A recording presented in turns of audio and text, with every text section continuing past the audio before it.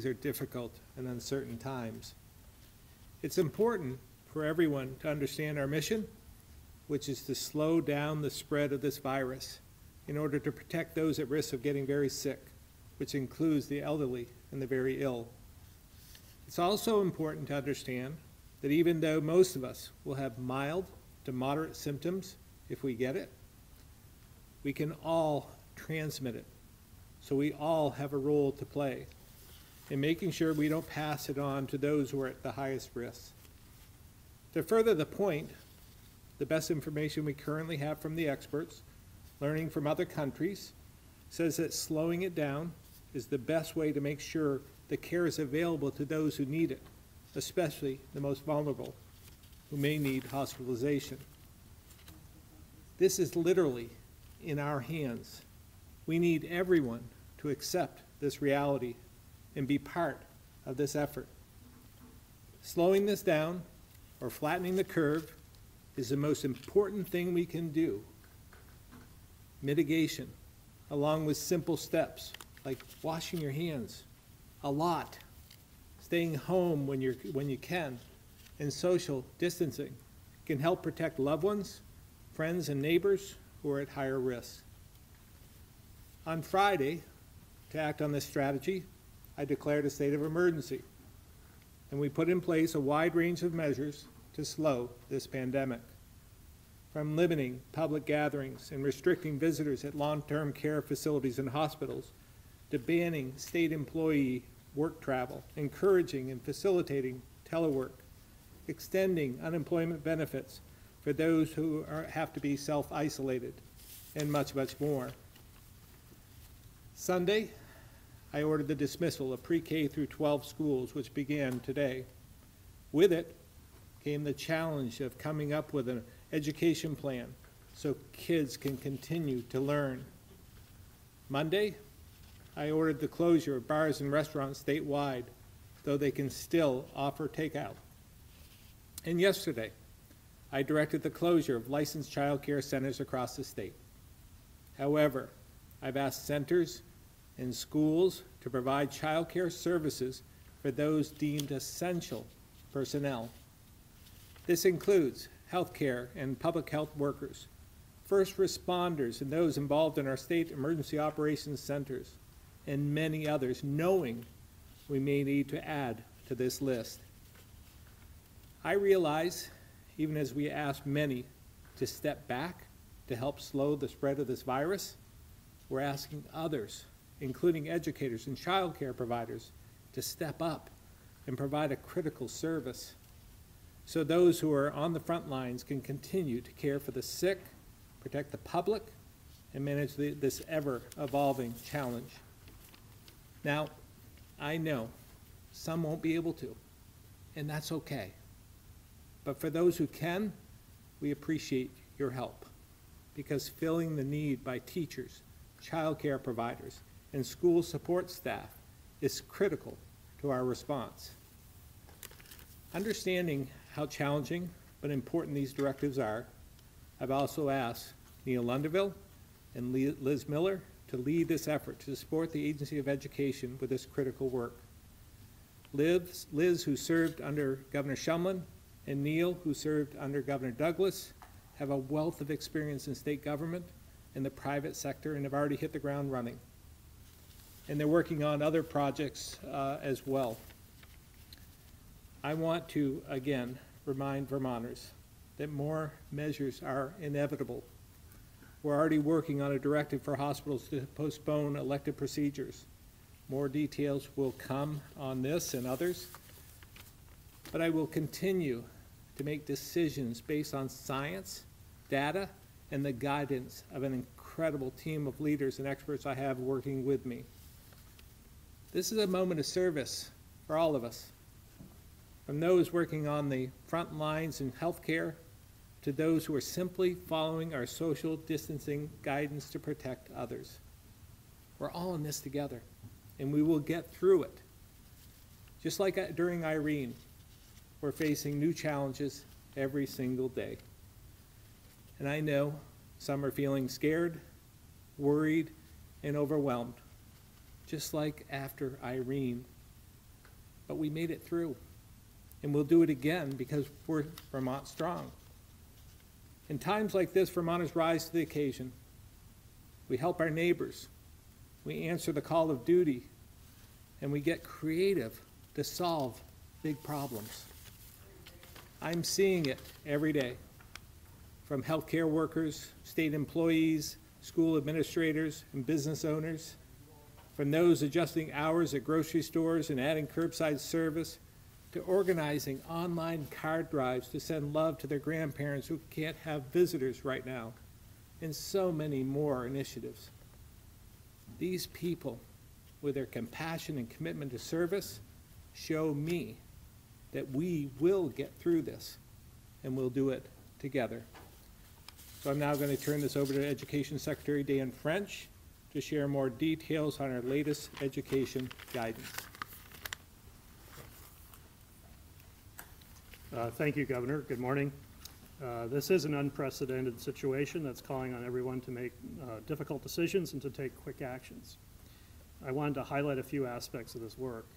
Uh, Firstly, childcare. Uh, We issued new guidance to schools last night to support the provision of childcare for the children of essential personnel.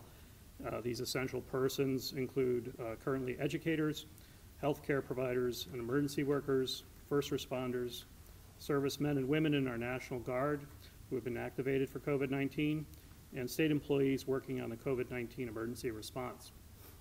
Schools have been directed to provide care to enrolled students up to at least grade eight, and where necessary, to students from other towns or districts. And we are currently working with districts this morning to support them in organizing this work.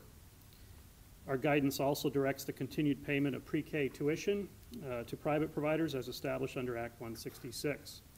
Uh, These funds are already in school budgets and paid for out of the education fund.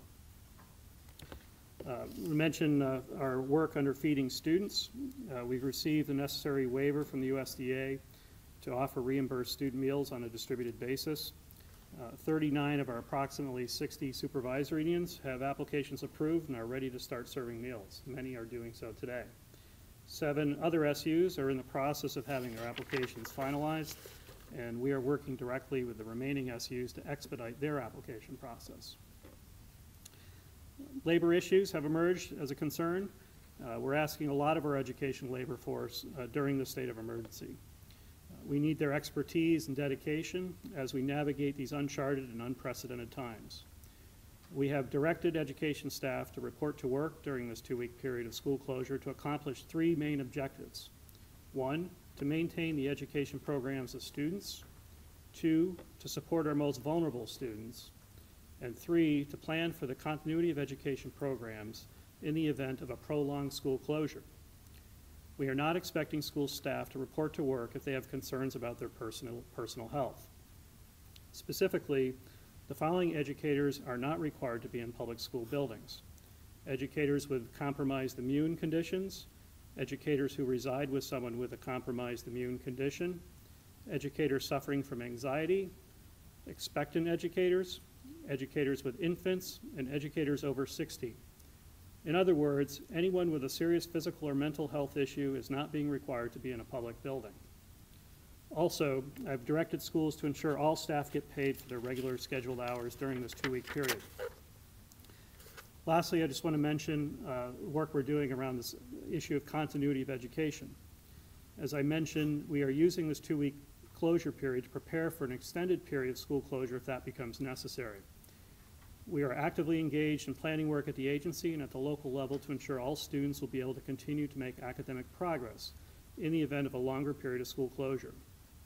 Many of our high schools can deliver instruction online, even though student access to the internet and computers at home is uneven around the state.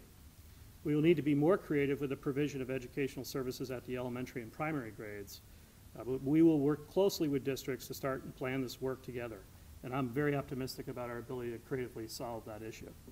Um, now I'll turn it over to Dr. Levine.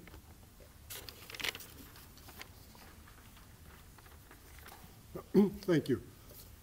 First, I'd like to give somewhat of a situational update. Um, At the moment, we have 19 total positive tests in Vermont. To put that in perspective, that's out of a total testing uh, run of about 600 tests. So clearly, um, far more negatives than positives, but obviously we're going to focus on these positives very intently. We always discuss how many people we're still monitoring in the state as a health department, and I'm not going to give you a precise number because that changes so rapidly. Each time you have a positive test result, um, there's abundance of surveillance and phone calls and interactions with people who may or may not have had contact with the actual case. And if that case happens to be in a healthcare setting, um, the numbers can get quite large. So just accept the fact that there are hundreds of Vermonters that are being uh, monitored and interacted with uh, regarding these 19 positive tests. I wanted to just spend a few moments um, and feed off of a bit what the government, the governor was saying about uh, the overall strategy, just so people can sort of see with some clarity uh, why all this is happening so fast and where we're going, both as a state and uh, in some respects as a nation. So there are some fancy words, but um, everything began with the word containment. And containment is kind of just what it says. You identify cases. To identify cases means you have to be testing, so you need to have some capacity to test, and you have to have some ability to prioritize those tests. Having done that, you begin to identify cases, and you rapidly isolate those cases, assuming they're in the community still and not requiring hospitalization. And we've had plenty who are still in the community that did not require hospitalization, to be clear about that. And then we do something called contact tracing, so that we make sure that those who may have had some contact with a case know exactly what it is they should do to prevent further transmission of COVID-19 across our communities. We are still doing that, and that's what I would term a parallel strategy to the now more significant strategy of mitigation.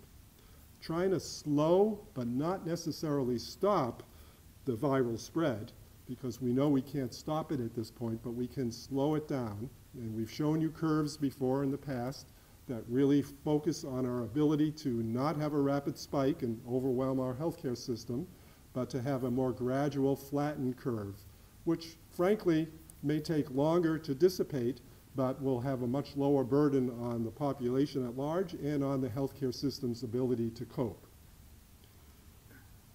The prime mitigation strategy goes under the other fancy term social distancing, which I hope everyone sees we're trying to practice up here on the podium today. Uh, maintaining that distance from others that as human beings we don't do every day. That's not what we're accustomed to. We high five, we shake hands, we embrace. Um, well, we're asking Vermonters to go through a significant amount of behavior change. And that's uncomfortable, and that's something you have to kind of be actually conscious of every time because your tendency is to do the things you've always done. So we understand that that's hard and may require a lot of support. And all the strategies that have occurred uh, since we really called this an emergency, in a state of emergency, are really falling into place in that social distancing category. So some of them had to do with protecting our most vulnerable and our elderly regarding visitation uh, policies to hospitals, to long-term care facilities, nursing homes, et cetera. Some of them had to do with how we tend to gather in groups, and you've heard numbers go from 250 down to 50. And to me, the number is irrelevant because people are already understanding that it's probably not a good idea to be in a crowd uh, at a time when you're talking about an infectious disease that can be easily transmitted through the air from one person to another. So people are already falling into line with that, and it's just the idea that we don't get into congregate settings that are very crowded. Then we have all of the issues of schools, which you've just heard about, which I won't perseverate on. Changes in work policies, changes in the way that uh, workers can or cannot travel. And then, really, um, as part of the gregarious nature of human beings, where do we usually do that? Well, we do that sometimes in restaurants and bars. And now you've heard new policies regarding those. And the only thing I want to say about those is, again, every step of the way in managing this, I think, very manageable uh, epidemic requires resourcefulness, creativity, innovation. And even restaurants and bars can be innovative, as they're all learning now with bring something to your car, takeout priority, uh, interacting with people in ways that they have to to deliver food, but still being able to actually do that, even though people can't sit down at a table with one another uh, inside their premises. So again, I know this requires significant behavior change and hard work, um, and nobody's going to deny how hard it may be. Really does require sort of a social compact and an idea that we're all here to cooperate with one another, uh, and I'm confident that we as a state can rally to that cause. The final stage of sort of uh, where we're going and the aspiration of all of us in the United States, never mind just Vermont, is a state where they sometimes call it suppression. So you've slowed the growth of the curve, it's been flattened, but eventually you want it to come down. And that's when you enter that state. We have good experience now just by watching the rest of the world, because as you know, the US was not the first country to be affected. So even though China has received a lot of crit criticism, um, they are now in a phase where things are much more controlled and they're seeing decreasing numbers of cases all the time, especially in that hot zone, but even in the rest of their country. South Korea is another example of that. And soon we hope we'll have some European examples of that. We need to observe critically and learn from those experiences. And I'm confident that we will. We will also learn about the timing of these things. We can set arbitrary dates of two weeks of this or three weeks of that, maybe a month, maybe two months, uh, but we'll actually get a little more certainty about how we actually figure that out because we'll learn from their experiences and see as they've eased up on some of these more restrictive policies uh, how things have gone.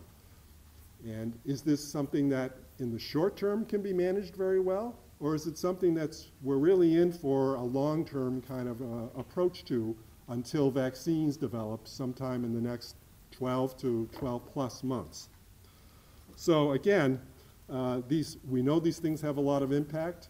They have impacts socially, economically, health-wise, et cetera.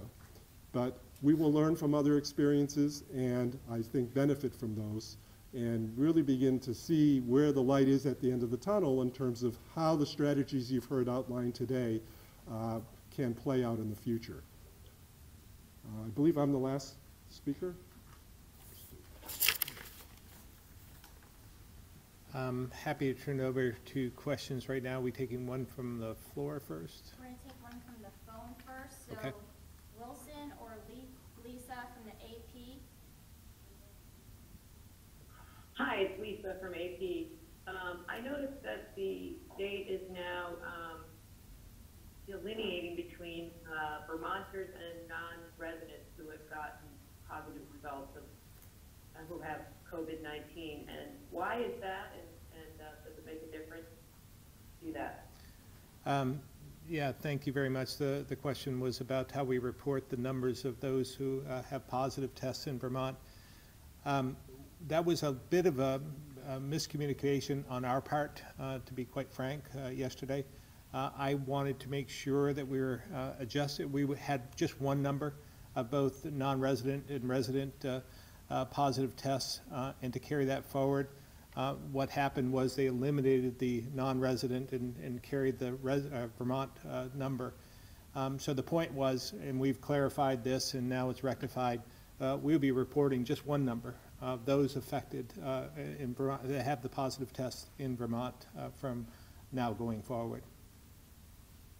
Okay, so the next question, Molly from Seven Days. Thank you. Um, I was wondering, uh, Governor and Secretary French, if you could speak to um, any continued risk at the child care uh, facilities caring for emergency workers and health workers. Obviously, your order of um, closure was designed to reduce the spread, but um, are there any steps under uh, considered to, to keep addressing that spread at these more limited uh, centers. I'll have uh, Secretary French uh, offer a few words and then maybe someone else, uh, Secretary Smith. Uh, thank you. yes, in our guidance that was published last night, we talk about the social distancing measures and our continued disinfection measures to ensure that these workplaces are safe. Um, but it is a priority to ensure that uh, those, those employees and workers that are on the front line of this emergency uh, don't have to worry about their childcare needs. And, and uh, we're working hard to accomplish both of those uh, goals. Molly, this is Mike Smith at AHS. As you know, we've limited the size of the uh, classroom size for these facilities down to 10. Uh, That means no more than 10 people in that room. We've also put the various sanitation requirements in place, and if we need to make those stricter, we will. Both Dan and myself have the ability to make stricter recommendations as we move forward. So right now, we, we limited the class size. We've put in fairly strict uh, sanitation sort of uh, requirements. And uh, we feel that will ensure, or at least um, make people feel comfortable about the safety of the decision we've made. Thank you. Uh, Governor, just your reaction to the president announcing earlier today that uh, joint decision between the United States and Canada to close the northern border except for essential traffic. Um, I wasn't aware uh, of the uh, directive from the president, so I don't know the details of that. Uh, Obviously, we have a few concerns. We have uh, employees uh, who live in Canada uh, that are part of our healthcare system in the northeast region and maybe even the northwest region. Um, So that's a concern. I would think they would qualify as being essential. Um, And we have to do everything we can. I know Canada has taken some extreme steps as well in Quebec and across the whole, the whole uh, country. Uh, And, uh, and we're going to have to do the same. So um, I would assume uh, that uh, in conjunction with, uh, with Canada, uh, this is the right uh, step to take, uh, while understanding that we have a lot of uh, trade, uh, and we uh, still rely on a number of employees from there. Anyone else want to add anything to that? Lola from VTDigger? Um, hi. I was wondering, are, are you concerned about the ability of, uh, schools to be able to carry out this mandate to provide this childcare, um, you know, especially in, in more thinly staffed districts that might see a lot of staff say, I, I can't carry out this work. Um, you know, either because I'm anxious for myself or immunocompromised or et cetera, et cetera. Secretary French. Hi, Lola. Um, Yes, I mean, it is a concern, and uh, we've been actively engaged with districts this morning as they're uh, trying to navigate both the provision of continuity of education and childcare service. Uh, At the same time, I think we've seen some really creative responses and really positive support of teachers stepping up uh, to help assist in this mo- moment of emergency. So it's going to be challenges, but just one in a series of challenges that we're going to have to navigate. But as, as Dr. Levine and the governor said, our priority now is to bend that curve as best we can, and I think uh, is a moment of service for all of us, and I know uh, educators and teachers will step up and, and help in that regard. Super quick follow-up, I'm so sorry. Um, what about, uh, so childcares have been asked to do this, but not, you know, ordered, schools have. Um, you know, if you have a three-year-old and you're a nurse, um, can you, and your childcare is you bring them to the local public school? Uh, In our guidance, we had to make a delineation uh, between students age zero uh, for five and six through uh, eighth grade. So currently, public schools are equipped to handle uh, age six up to eighth grade fairly easily, both from a safety and an educational standpoint. We were less comfortable uh, making a provision for younger, younger children under five, but we'll certainly reevaluate if the need becomes necessary. Let me, let me just, uh, So this- right now it's a, oh, go ahead. This is Mike Smith. Let me just sort of bring the pre-K up uh, where we are right now. As, as you know, we've, uh, we have instituted a pre-K, pre-K program for essential uh, children, And those childcare uh, centers we're starting to contact now. Last night, we contacted 41 programs in just one, one and a half hours so far. 288 um, children have been identified as essential people. Uh, We, I, I, I've got to emphasize this. There has been enormous collaboration among the private child care providers, and we can't thank them enough in terms of what we're doing and how we're moving forward to this. We've actually ID'd many potential additional staff to deploy to other facilities that may be limited uh, to, uh, to a, a facility that needs those employees. So we really are seeing the healthcare, um, excuse me, the, uh, I'm in so many different realms here, but the uh, childcare uh, community really stepping up to this. And many center, many centers have told us that they're willing to work extra shifts. So we are grateful uh, to all the kids, uh, all the centers. We're working with organizations like Let's Grow Kids uh, to bring all this together.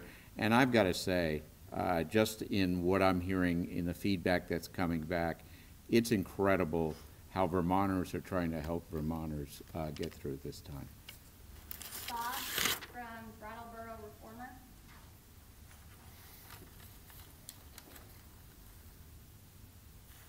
Can you hear me okay? We can. Okay, so, uh, yesterday, the state of New Hampshire announced that it was expanding unemployment benefits for people who have to stay home with school-aged children. Has Vermont considered, enacted, discussed this at all? Yeah, I'm going to have our our Commissioner of Labor answer that. Sure. So um, I had a chance to review uh, the legislation that came out of New Hampshire, and while I haven't been able to do the background on it, um, one thing that needs to be considered is uh, it looks like there was some legislation passed that allowed those individuals to become eligible, uh, and that is something we are working with the Vermont legislature right now uh, to expand benefits to those that have to stay home uh, with a family member who becomes ill or is quarantined or isolated. So, uh, yes, we are considering it, uh, and it is moving through the legislative process, but it does require a change in state statute. Uh, I would also uh, add, that's, but, Yeah, I would also add that the, the legislature uh, has been very receptive to any of our needs uh, and is, you know, a very willing partner. So uh, we're working through many of those initiatives as well as many others uh, at this point in time.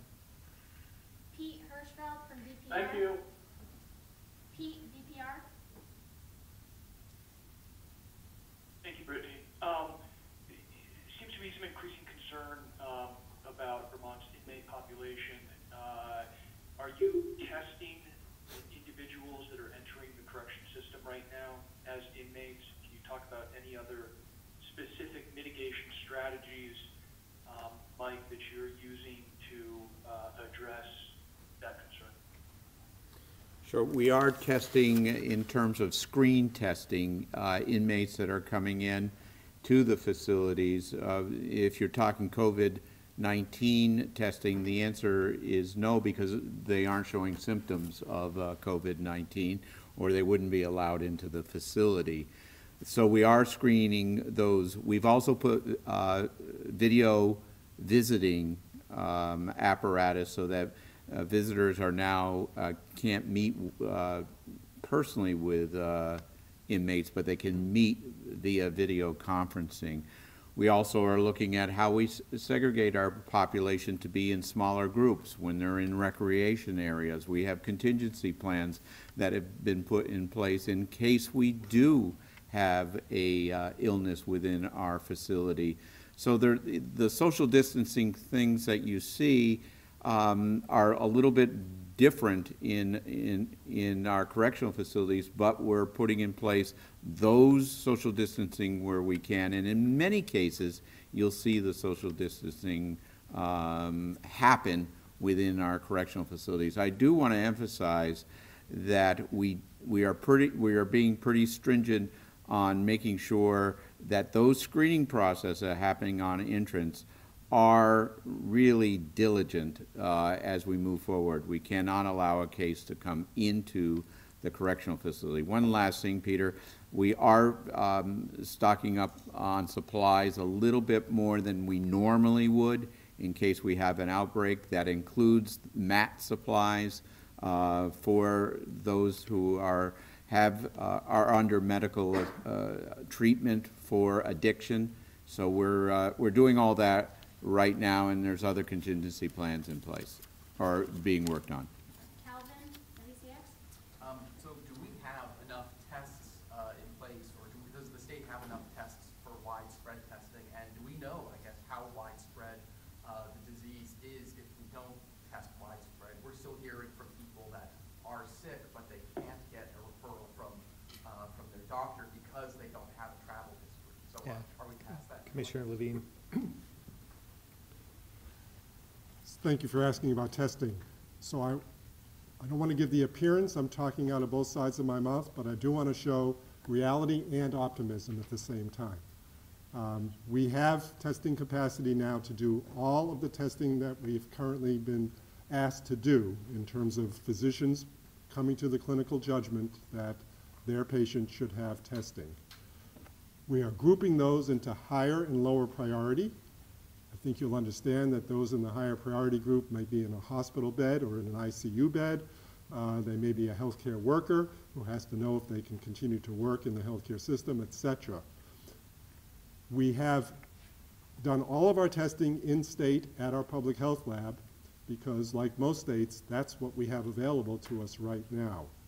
And in that public health lab, we have supplies of test kits and reagents and everything that's needed to do the tests, but we are limited in how far that supply will take us. We have literally 10 or 12 pathways that we're looking at simultaneously for obtaining more test kits, reagent supplies, uh, machinery to do the testing with, personnel to do the testing, uh, and that's at all levels, local, regional, national, that's public and private. So it's quite expansive. Vermont is no different than any other state in the country uh, with regards to not being able to do what I would call expansive health surveillance, knowing in the entire population how much disease is present, whether there are people who are asymptomatic or only mildly symptomatic compared to those who are acutely ill in a hospital setting. Um, But I think as a country, you're going to find in the next week or two, we are all going to catch up rather rapidly. So we're working very closely with the uh, Health and Human Services apparatus in Washington, with the FDA, and with the CDC, all in actually separate strategies. We are working very closely with the UVM College of Medicine and the UVM Medical Center, and we are working very closely with the uh, partnership you've often heard about from the federal level of uh, public-private partnership with companies that are commercial and will have testing capability as we speak. They're just coming online now. So what I envision is that we will have greater local support through our affiliation and partnering with the uh, UVM College of Medicine and Medical Center, and that will help us with this more high-priority group, which we'll continue to maintain in state, and we'll have opportunities to do more of the lower priority but necessary uh, not only public health work, but reassuring our citizens' work about their conditions through these more national lab testing op- opportunities. But I have to provide a realistic expectation, expectation that these national opportunities won't have the turnaround time we've come to expect locally, which is within 24 hours. They may be 72 hours, maybe even as long as 96 hours, but we'll be careful to make sure that they are in the group that is lower priority. I do want all Vermonters to know that we still need to have rational and reasonable expectations of who should be tested, who should not be tested, and our clinical community understands that and will work with their patients to uh, help them understand that. Because at the present time, uh, it could overwhelm the system if everybody felt that their test was the most important and that they needed to uh, have it done immediately. Uh, because we're certainly not in a situation where we can do that today. Patricia from Bennington Banner.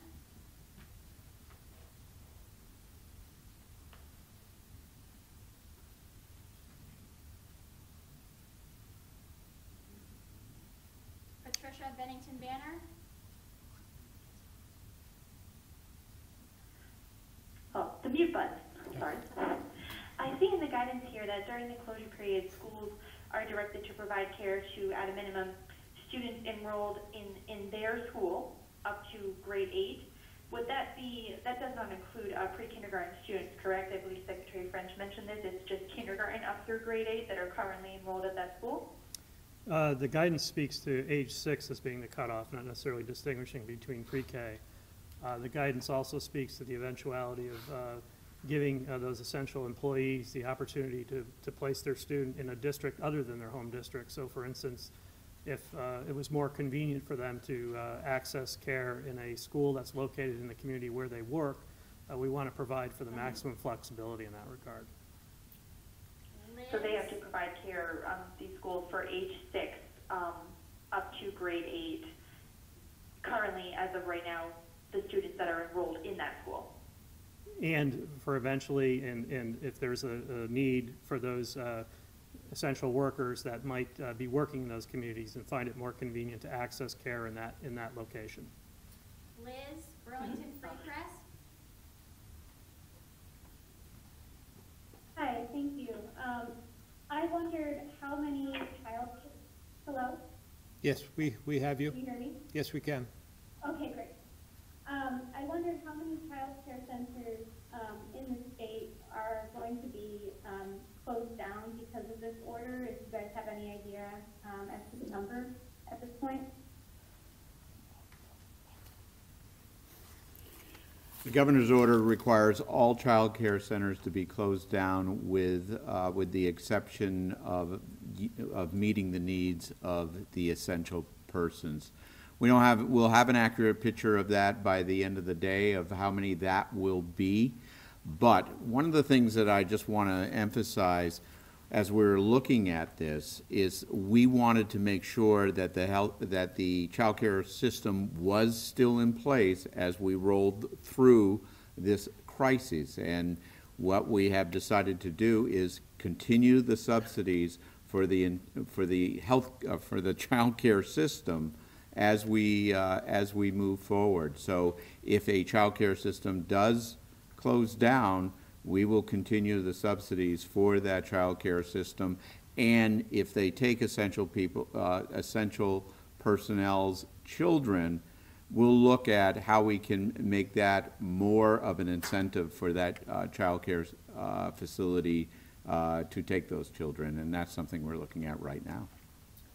Colin, seven days.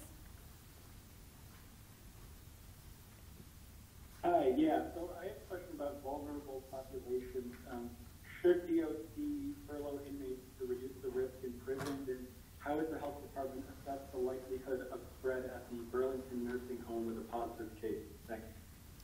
Want to take that one first?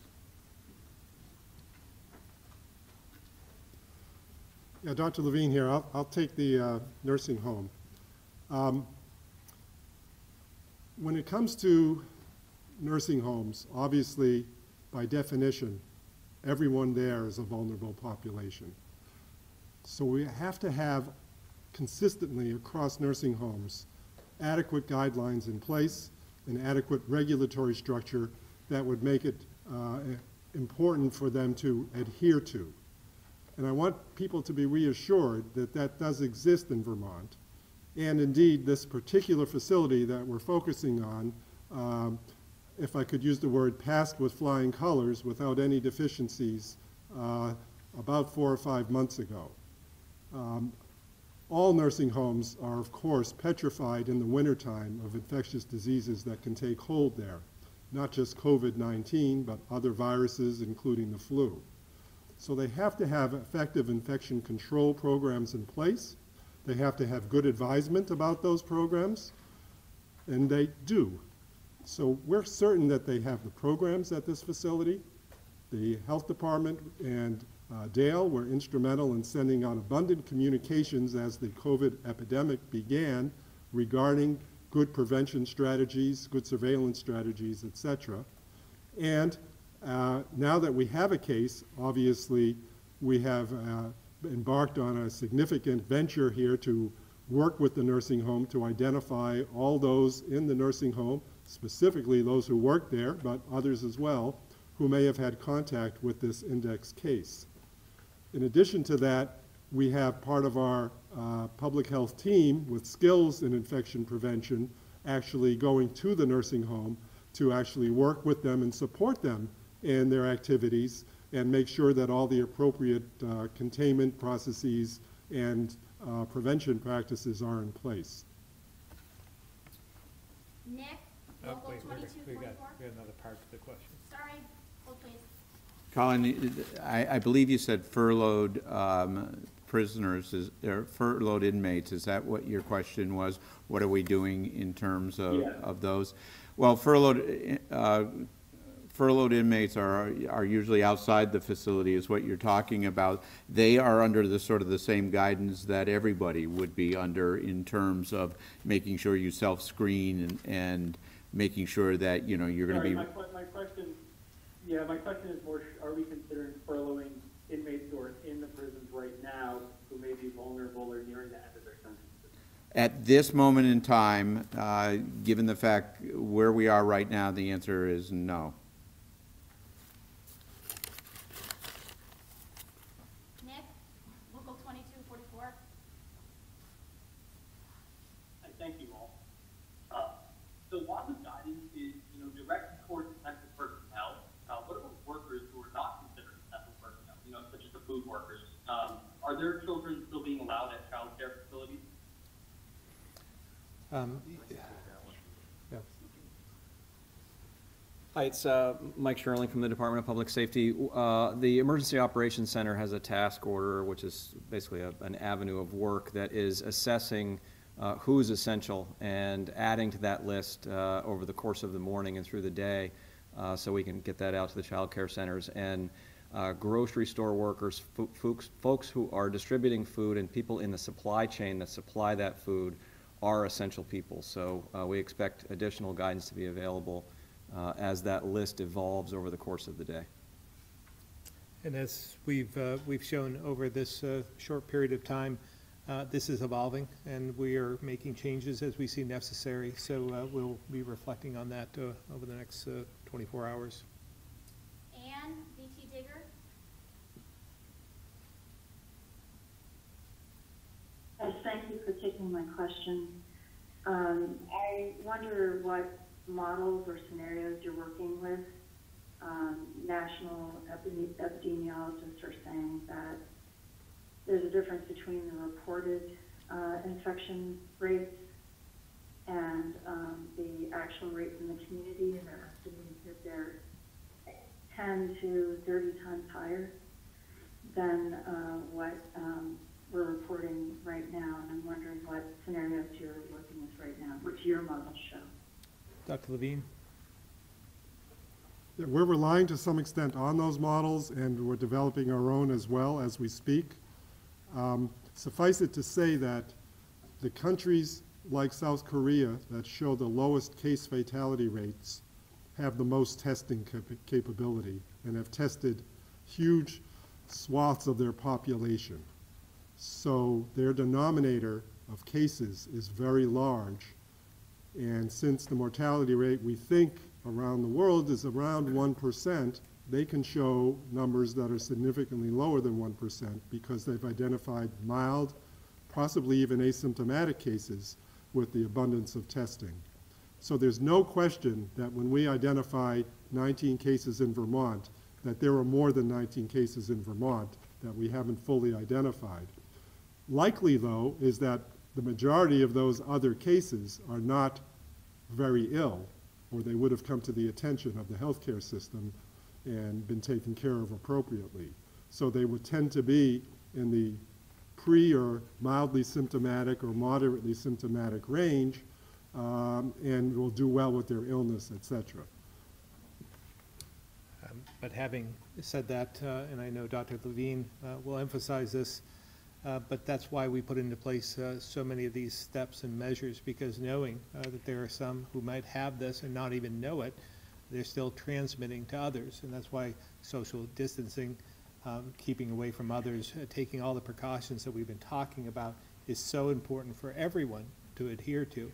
Just, I would, uh, you know, if you, if you don't know for sure, just assume you have it, in some respects. And I'm not trying to create panic, I'm just saying, keep your distance. Uh, make sure you're, you're doing the right thing so you're not infecting others, because you may be okay, uh, but you may be harming someone else, uh, who is vulnerable. So, uh, keep that in mind. Um, If this goes on beyond a To couple follow up, please, can I, can I, Sure, can I ask a follow-up? yeah, please? go ahead, Ann. Do we have, a- do we, thank you very much. Um, do we have enough ventilators, ICU beds, and beds in general in Vermont? I understand we only have two hundred and ten ventilators, for example, and that we might have, you know, say more than a thousand cases at some point. What, what are we gonna do about that? Other states are pretty upset about that. Governor, were you on the call with, uh, with Mr. Trump, um, when he talked about states having to buy their own ventilators? Yeah, I mean, it was, uh, it was slightly nuanced from that, but, uh, but yes, I was on that call uh, when other uh, governors were showing um, some apprehension uh, in that regard. But um, I'll let uh, Secretary Smith answer the question about the ventilators and bed space. And Mike Smith, uh, we currently have 273 uh, available beds in the state as of this morning. That does not include possible surge beds. It does not include the capability to open up temporary facilities using the National Guard or other sort of temporary facilities. We have 245 uh, ventilators that are available in this state.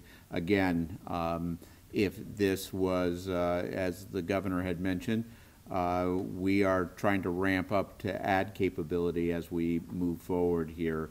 And, and I think one of the things that the governor has always told us is think ahead.